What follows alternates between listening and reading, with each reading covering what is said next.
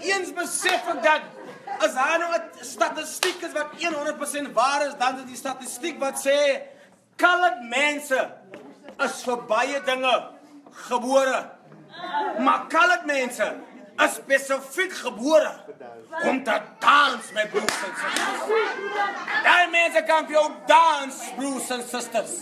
En ek begin trots te voel om 'n colored te wees, want kyk jy een colored kan 'n hele dansvloer vir hom of haarself vat.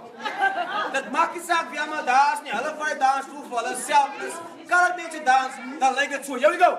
Dames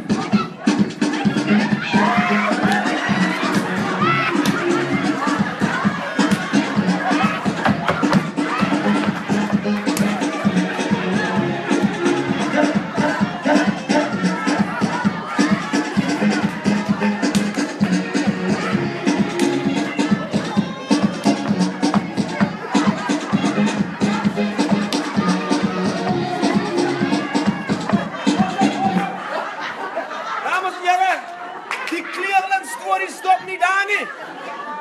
Ek besef toe maar colored mense kan nie dans en stil bly nie. Colored mense dans met sound effects. Want die sound effects laat hulle choir lyk of choir voel. Dan lyk hulle so. Here we go.